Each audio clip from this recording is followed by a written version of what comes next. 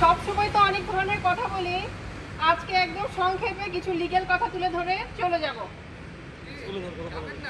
আজকে আমি নিজে চলে যাওয়ার পর আরও কয়েকজনকে কথা বলার সুযোগ দেব। আর আমি যে কথাগুলো বলেছি ওগুলো আসলে কতজন কতটুকু বুঝেছে, ওগুলো আমি শুনতে চাইব। যেটা বলতে চাচ্ছি, আমরা এমন একটা দেশে বসবাস করি, যেখানে একটা গাড়ি আরেকটা গাড়িকে ধাক্কা দিলে কম্পেনসেশন স্যুট হয়। আমাদের অ্যাডভোকেটরাই প্রেসক্রাইব করে যে আপনি তো কম্পেনসেশন পাবেন। Let's do the compensation suit আর আমি বলতে চাচ্ছি যেটা, আজকে তিন বছর হয়ে গেল, আমাদের আমাদের কেরিয়ারকে ধাক্কা দিয়ে চলে যাচ্ছে বার কাউন্সিল কিন্তু আমাদের ব্যাপারে, আমাদের কম্পেনসেশনের ব্যাপারে কেউ এখনও কথা বলল না।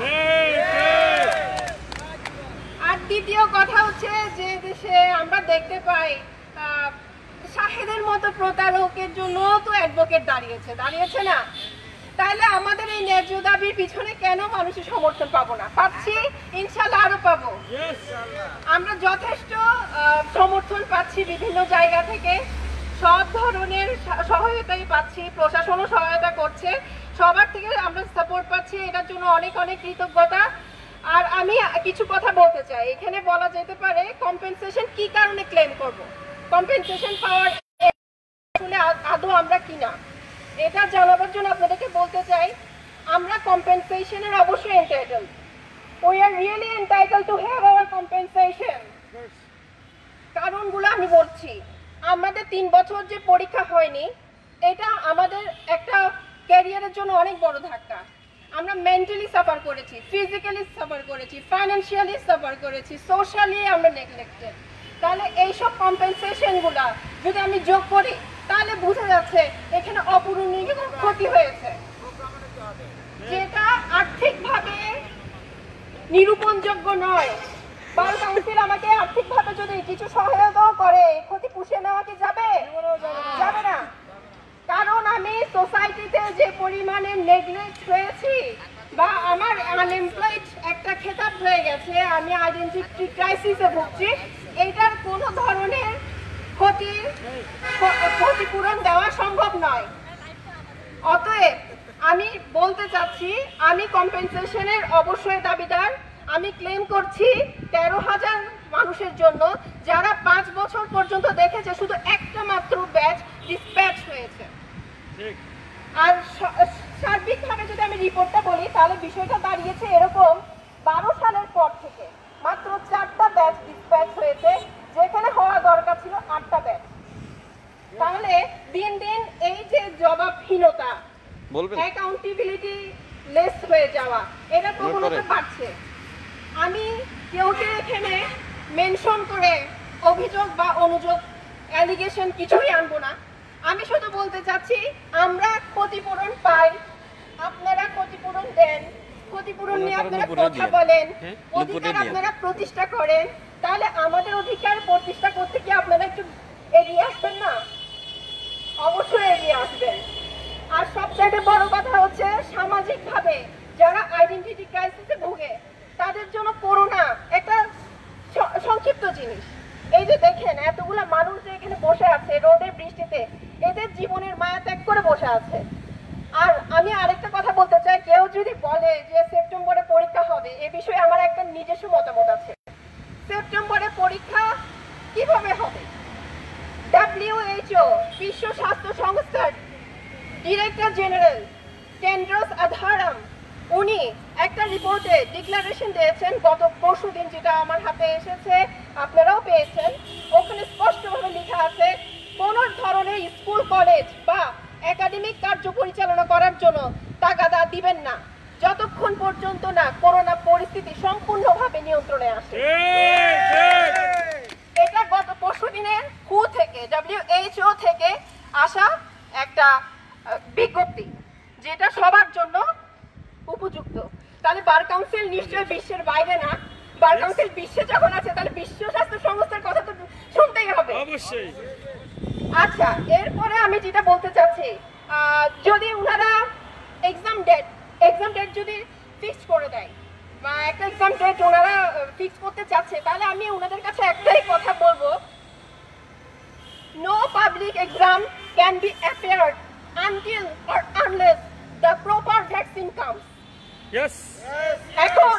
আমার জন্য খুব বেশি ভালো হয় যদি বার কাউন্সিল আমাকে একটু জানিয়ে দিত যে সেপ্টেম্বরে পরীক্ষা আমরা তো আগস্টেই তোমাকে ভ্যাকসিন দিয়ে দিচ্ছি এখন গ্লোব বায়োটেকের চাইতেও বেশি কার্যকারী কোন ধরনের ভ্যাকসিন বার কাউন্সিল আদৌ আমাদের জন্য তৈরি করেছে কিনা আমি জানি না তাদেরকে আগাম ধন্যবাদ সাধুবাদ এবং কৃতজ্ঞতা যদি করে থাকে আমাকে ভ্যাকসিনটা প্রথমে ট্রায়াল করানো হোক ইনশাল্লাহ আমরা সেপ্টেম্বরে পরীক্ষা দিতে পারব। যদি ভ্যাকসিনটা আমাদের মধ্যে হিউম্যান ট্রায়ালের পর যদি সফলতা দেখে বার কাউন্সিলের ভ্যাকসিন তাহলে পরীক্ষা দিতে সমস্যা নাই। আমরা কি পরীক্ষাকে ভয় পাই? কিন্তু কিসেকে ভয় কি কে ভয় পায়? অনিয়মকে ভয় পায়. অনিয়মকে ভয় পায়। আমরা আমাদের সময় নষ্টকে ভয় পাই। আমরা কিছু অনিয়মকে ভয় পাই কিছু অনিয়ম বলতে কে কে? ওই আমার সিট এখনও ইম্পোজ করা হয়নি। খাতার এখন সিকিউরিটি সম্পর্কে আমাদেরকে কোনো ধরনের ভালো উদ্যোগ ওনারা দেখাতে পারেনি। আর আরেকটা কথা হচ্ছে দুই হাজার সালে যে ফর্ম ফিল শুরু হয়েছিল দুঃখের বিষয় হচ্ছে দুই হাজার বিশ সালে ওইটা শেষ হয়নি। আরও একটা মজার কথা শোনাই সবাইকে। যেখানে রাশিয়া দাবি করছে ভ্যাকসিন আমরা তৈরি করে ফেলেছি করোনার। যেখানে আমাদের দেশ দাবি করছে যে বিজয়ের মাসে ভ্যাকসিন দিব। এখন কথা হচ্ছে করোনার ভ্যাকসিন তৈরি হয়ে যাচ্ছে এক বছরের আগে ছয় মাসের ভেতরে। কিন্তু একটা এক্সাম প্রসেস বা একটা ফর্ম ফিল আপ এক বছরের মধ্যে শেষ হয় না। কি কঠিন। বিষয়। তার মানে আমি কি বুঝে নিব আমাদের পরীক্ষাগুলা করোনার ভ্যাকসিন তৈরি করার চাইতেও বেশি বেশি বেশি ধন্যবাদ সবাইকে আমি আশা করব আমার এই কথাগুলো আপনারা একটু আমলে নেবেন আমি আসলে ডিরেক্টলি কেউকে অ্যালিগেট করব না এখানে আহ, কারোর বিষয়ে কোনো অভিযোগ নেই আমার মধ্যে যেই কথাগুলো বারবার আসছে যে ভ্যাকসিন ছাড়া কীভাবে আমাদের পরীক্ষা হবে ভ্যাকসিন ছাড়া কীভাবে এতগুলো মানুষকে আপনি পাবলিক এক্সামিনেশনের জন্য ইনভাইট করবেন এই বিষয়ে আমার কোনো ধারণা আমি খুঁজে পাচ্ছি না তাই আপনাদের কাছে জানতে আসলাম ভ্যাকসিন কি তৈরি হয়ে গেছে কিনা যদি হয়ে যায় এইচএসসি এক্সামটাও করে ফেলবে ইনশাল্লাহ আর যেখানে আমাদের যেখানে আমাদের শিক্ষামন্ত্রী ডক্টর দীপুমণি বলেছেন আমরা পরীক্ষা নিয়ে ভাবছি না পরীক্ষা একমাত্র মেধা যাচাইয়ের মানদণ্ড নয় আমরা কারিগরি শিক্ষাকে প্রাধান্য দিব তাহলে আপনারা কেন এখনও ট্রেনিং এর কথা বলছেন না পরীক্ষার কথা বলছেন শুধু আপনারা তো ট্রেনিং এর কথাও বলতে পারতেন আমরা এই ধরনের কিছু পদক্ষেপ আপনাদের থেকে আশা করি আপনারা অভিভাবক আমরা তো যত্ন পাচ্ছি না বলেই আসলে এখানে এসেছি। আর যত্ন যখন পাবো, তখন নিশ্চয়ই আমার অভিভাবককে আঁকড়ে ধরে থাকব। ধন্যবাদ সবাইকে। আসসালাম আলাইকুম। আমার কথাগুলোর যদি কোথাও অযৌক্তিকতা খুঁজে পাওয়া যায়, অবশ্যই আমাকে জানাবেন। আমরা আরও রিসার্চ করব। একটা রিসার্চের কথা একটু বলে যায় আসার সময় পড়ে এসেছি। একটা খুব রিসেন্ট কেস কিন্তু খুব আলোচিত। Catherine Masud versus Khasid Khan. আপনারা করেছেন কিনা জানি না। ওখানে তারেক মাসুদের মৃত্যুর জন্য প্রায় চার কোটি একষট্টি লক্ষ টাকা ক্ষতিপূরণ দেওয়ার নির্দেশনা দিয়েছে হাইকোর্ট। তাহলে আমি বলতে চাচ্ছি, আমাদের জীবনও তো কিছুটা মূল্যবান। মূল্যবান না? তেরো হাজার মানুষের জীবন কি খুব তুচ্ছ? আমরা আর্থিকভাবে সহায়তা চাচ্ছি না তো। আমরা কাজ করার মতে আপনারা ওইটাও দিবেন না। ক্ষতিপূরণ হিসাবে তো আমাদের এটা অন্তত পক্ষে প্রাপ্য। ধন্যবাদ সবাইকে। আসসালামু আলাইকুম।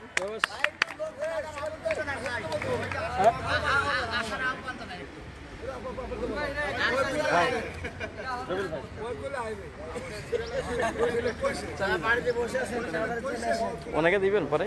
আবার একটু সংক্ষিপ্ত কথা বলব। আন্দোলন চলবে আন্দোলন আন্দোলনে কম মানুষ হবে কখনো বেশি মানুষ হবে কখনো জনসমাগম বেশি হবে আন্দোলনের একটা উত্থান পতন থাকবে কিন্তু আন্দোলন যদি যৌক্তিক হয় তাহলে অবশ্যই সফল হবে আর সবচেয়ে বড় কথা আমাদের এখন ইউনিটি দরকার। আপনারা জানেন একটা বড় সিস্টেমকে আমরা চেঞ্জ করার জন্য চলেছি। শুধু সনদ সনদ কথাটাতে শেষ না রাষ্ট্রভাষা যখন উনিশশো সাতচল্লিশ সালে যখন মোহাম্মদ আলী জিন্না ঢাকায় এসে বলেছিলেন only Urdu shall be the state language তখন কি হয়েছিল নো নো তারপর থেকে আমাদের ছাত্ররা বলেছে না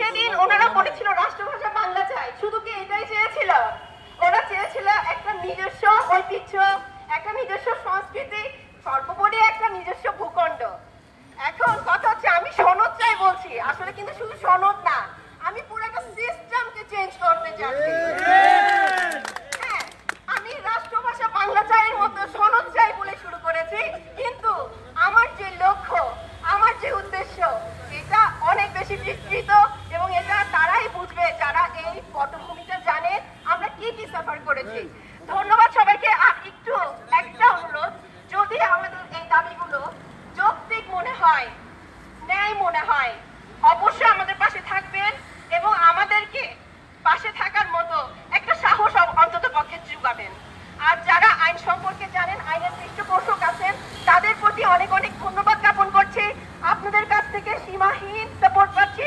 সহযোগিতা পাচ্ছি আর যে স্যাররা বলছেন যে আমাদের দাবি নেই তাহলে বুঝে নিলাম যে আসলে মুরব্বীদের কিছুটা দোয়া তো আমরা পেয়েছি তাই এই রোদেও টিকে আছি বৃষ্টিতেও টিকে আছি।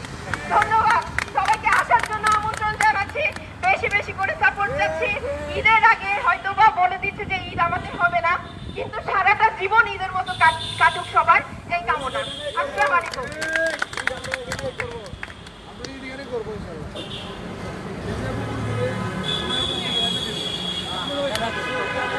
Special thanks to our apprentice parents, Sumaya Apu, for her important speech in here.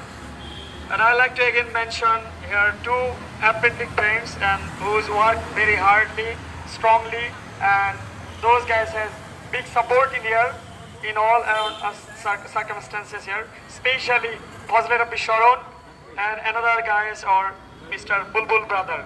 So please, for all of us, please uh, big hand for us. Have a big.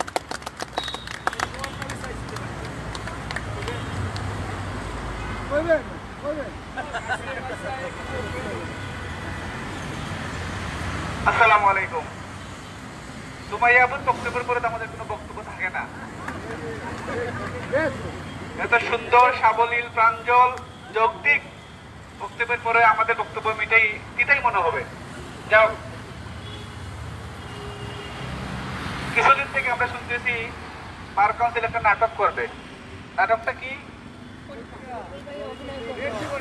যেখানে বাংলাদেশের তথা বিশ্বের প্রতিটি স্কুল, কলেজ, মাদ্রাসা প্রতিষ্ঠান সবকিছুই বন্ধ। ওনারা আমাদের লিখিত পরীক্ষা নেবে। তাহলে তো বলতেই হয়, লিখিত পরীক্ষার মধ্যে কোনো মজা আছে? এই মজাটা কি ভাই বলেন তো? আমার তো মনে হয় এখানে কোটি কোটি টাকার বাণিজ্য হয়। যে সবার কাছেই যায়। হয়তো বা নীরবে নীরবে নিবৃতে বা কিংবা অ্যাকাউন্টের মাধ্যমে যায়। সেই দলের বিড়ালটা আমরা বের করে নিয়ে আসতে চাই। বের করে নিয়ে আসার আগ পর্যন্ত আমরা কিন্তু মাঠ ছাড়বো না। যা হোক আমরা পরীক্ষার বিপরীতে কখনোই ছিলাম না। আমরা পরীক্ষার জন্য আন্দোলন করেছি। আমরা আমাদের আন্দোলনের ফলে দাঁড়া যান দাঁড়া যান। দাঁড়া এরপরে বলে এমসিকিউ পরীক্ষা দিতে বাধ্য হয়েছিলেন। এই লাইভটা বেশি দেখতেছে। গত তিন বছর থেকে আপনারা নিয়মিত পরীক্ষা নিতে পারেন নাই। আমাদেরকে শুধুমাত্র এই তিন বছর একটি নির্দিষ্ট সময় বললাম। কিন্তু পূর্বের কিংবা পরের অনেকগুলি বছরই কিন্তু আমাদের জীবন থেকে আপনারা নিয়ে নিয়েছেন। তা আমাদের তো অনেক আগেই করছে করেছেন। এখন আমাদের এই যে ক্ষতিপূরণ হয়েছে জীবনের কে দিবে? সেগুলো কি বার কাউন্সিল দায়বদ্ধ আমাদের কাছে নয়? নিশ্চয়ই বার কাউন্সিল আমাদেরকে সেই ক্ষতিপূরণ বুঝিয়ে দিতে হবে। আমি আশা করব আমাদের সম্মানিত বার কাউন্সিলের নেতৃবৃন্দ নেতৃবৃন্দরা এই তেরো হাজার শিক্ষানবিশ আইনজীবীকে প্রতিপক্ষ হিসাবে দাঁড় করাবেন না। আমরা আপনাদের সন্তান আপনার আমরা আপনাদের ভাই, আপনাদের বোন। এখন এমন করে সিদ্ধান্ত আপনারা নেবেন না যাতে তেরো হাজার শিক্ষানবিশ আইনজীবী আপনাদের প্রতিপক্ষ হয়ে যায়। আমরা কিন্তু যদি প্রতিপক্ষ হয়ে যাই, তাহলে আমরা কিন্তু আইনজীবী হওয়ার স্বপ্ন বাদ দিয়ে আমরা শত্রুকে মোকাবেলা করব। শত্রুর মোকাবেলা ব্যতীত আমরা মাঠ ছাড়বো না। বাদ দিয়ে দিলাম আমরা, আমাদের আইনজীবী হওয়া। কিন্তু আমরা মাঠ ছেড়ে যাওয়ার, মাঠ ছেড়ে পালানোর মানুষ আমরা নই। যাই হোক ওদের উদয়- উদয় হবে। আমরা আশা করি মাননীয় বার কাউন্সিলের নেতৃবৃন্দরা আমাদের প্রতি সদয় হবেন। আমরা ওনাদের বিরুদ্ধে নই। ওনারা আমাদের পিতা, ওনারা আমাদের আমরা ওনাদের সন্তান। আমাদেরকে ওনারা সদয় দৃষ্টি দিবেন, সেই আশা প্রত্যাশা ব্যক্ত করে আমার বক্তব্য এখানে শেষ করছি। জয় বাংলা, জয় বঙ্গবন্ধু। এ পর্যায়ে সংক্ষিপ্ত বক্তব্য নিয়ে আসবেন আমাদের সকলের শ্রদ্ধেয় নপুর আক্তার আপু।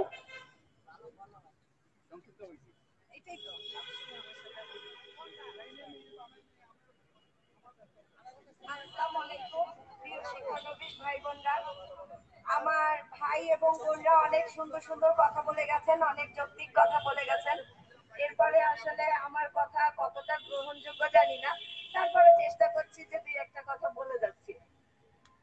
সেটা হচ্ছে যে বার কাউন্সিল আমাদের আঠারো দিনের আন্দোলনে আমাদের এখানে আসতে পারেননি। অথচ তারা আমাদের অভিভাবক এখন যদি একটা নাটক নাটক খেলা শুরু করেন আর আমাদের সেটাতে অভিনয় করতে হয় এবং আমা- তাহলে আমি অন্তত বলব আমি একজন নুপুর আমি পরীক্ষা দেব না এবং আমার সাথে যারা যারা আছেন তারা একতাবদ্ধ থাকবেন কি থাকবেন না আপনারা সিদ্ধান্ত নেবেন আপনারা হাত তুলতে পারেন সুযোগ আছে তো এরা কেউ পরীক্ষা দিবে না তাহলে বুঝতে পারছি যে বার কাউন্সিল কাদের পরীক্ষা নেবে এবং বিগত দিনে তারা বলছে যে প্রতি বছরই নাকি তারা আইনজীবী নিয়োগ করছেন তাহলে আইনজীবীরা কারা? তাদেরই মনে হয় পরীক্ষা দিবে, তাই না? এখন নতুন করে। আচ্ছা এরপরে হচ্ছে আমাদের একটা পরীক্ষা দেওয়ার পরেও করোনা ভাইরাসের মতো এরকম একটা মহামারীর পরেও আমাদেরকে সনদ দিতে পারছেন না তারা। যেই সনদটা কোনো চাকরি না, যেই সনদটা কোনো বেতন দিবে না, যেই সনদটা কোনো ভাতা দিবে না, শুধুমাত্র কর্মজীবনে প্রবেশাধিকারের একটা সনদ। সকল পড়াশোনা শেষ করা সত্ত্বেও। কিন্তু তারা কিন্তু বিচারপতি বা অন্যান্য যোগ্য ব্যক্তিদের ছেলে মেয়েদেরকে দিয়ে দেন, খুব আপসী তো সেখানে বলতে হচ্ছে যে আমাদের আত্মীয় স্বজনরা কেন এত বড় বড় জায়গাতে নেই এটা আমাদের কপাল খারাপ তো আমরা আসলে যোগ্য হওয়া সত্ত্বেও যোগ্যতাটা প্রকাশ করতে পারছি না তো যাই হোক আমরা একটা কঠিন পরীক্ষা দিয়ে পাশ করে আসছি তিন ধাপে পরীক্ষার ব্যবস্থা তারা চালু করেছিল আমরা সেটা এগ্রি করেছি কিন্তু যদি তারা সেটা সম্পন্ন করতে না পারে যেটা আমাদের পিতাপু বলেছে যে আমাদের আটটা পরীক্ষা অন্তত কমপক্ষে নেওয়া উচিত ছিল সে তারা নিতে পারে নাই এটা তাদের ব্যর্থতা কিন্তু এখন আমরা যারা এখন আছি আমাদের একটা সনদ তো দিতেই হবে এবং যারা পরবর্তীতে পরীক্ষা দিবে আমার মনে হয় তাদের পরীক্ষার ব্যবস্থাটা করলে একটু ভালো হতো কারণ তারা অনেকদিন ধরে অপেক্ষা করছে আর যেটা ফিদা আপু বলেছিল যে আমাদের যে ক্ষতিগুলো হয়েছে পরীক্ষা যদি নিতেই হয় তাহলে সেই ক্ষতিগুলোর মাসুল কিন্তু দিতে হবে কারণ যে ক্ষতিটা করে মাসুলটা কিন্তু তার প্রাপ্য সে দিবে আমরা না তাই আমাদের তিন বছর বা কারও কারও আরও বেশি এই সময়গুলাতে আমরা যা যা হারাইছি আমাদেরকে সবকিছু দিলে আমরা পরীক্ষা দিব আমরা পরীক্ষা ভয় পাই না তো আর শিক্ষানবিশ ভাই বোনদের জন্য বলব, আপনারা অতি দ্রুত চলে আসেন আমাদের কর্মসূচি। এখন আমরা অনেক শান্ত আছি, শান্তই থাকব আশা করি কিন্তু তারপরও অন্যায় কিন্তু মানবো না প্রতিরোধ গড়ে তুলবো এবং আমরা সামনে এগিয়ে যাব এবং তার জন্য যদি জীবনও দিতে হয় আমি অন্তত প্রস্তুত আর আপনারা প্রস্তুত তো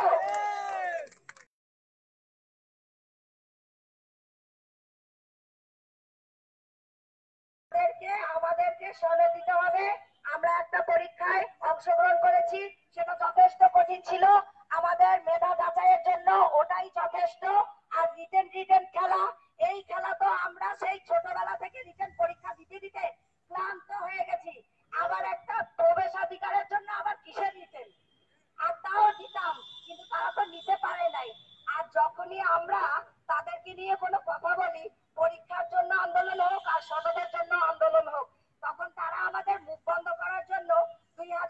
সালে এসে একটা এমসিকিউ পরীক্ষা দিয়েছিলেন আবার এখন মুখ বন্ধ করার জন্য আরেকটা পরীক্ষা পরীক্ষা যদি খেলেন তাহলে এর ফল ভালো হবে না আমরা মানবো না আপনারাও মানবেন না অবশ্যই তো ঠিক আছে, আমরা রাজপথে ছিলাম, রাজপথে থাকব এবং বাংলাদেশের প্রতিটা সেক্টরকে জানাব। আমাদের মাননীয় প্রধানমন্ত্রী দৃষ্টি আকর্ষণ করে বলছি, বার কাউন্সিলে কি হচ্ছে, আপনি আপনার নজরে নেন, আমাদের সাথে এই অন্যায়ের জন্য আপনি আমাদের পাশে এসে দাঁড়ান। আমাদের আমাদের জীবনের সিকিউরিটি দান করুন। আমরা আসলে এতটাই অসহায় হয়ে- পড়েছি যে আমাদের রাস্তায় এসে কথা বলতে হচ্ছে। যেটা কথা ছিল না, যাই হোক, আপনারা সবাই আমাদের সাথে থাকবেন। আমরা নৈতিক দাবিতে ন্যায্য